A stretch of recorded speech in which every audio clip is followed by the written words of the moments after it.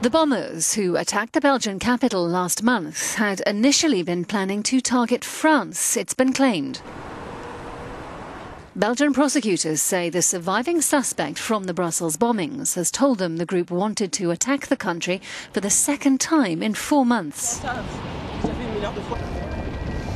In a statement, they say the group opted to strike closer to home as key members began to be arrested.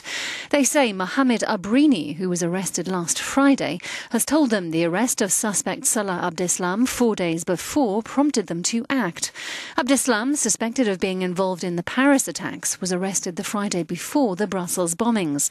Both men were seen on CCTV footage en route to Paris before the attacks in November.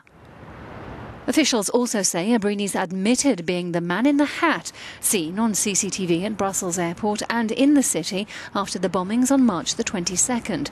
He and three other men were charged with terrorist offences on Saturday.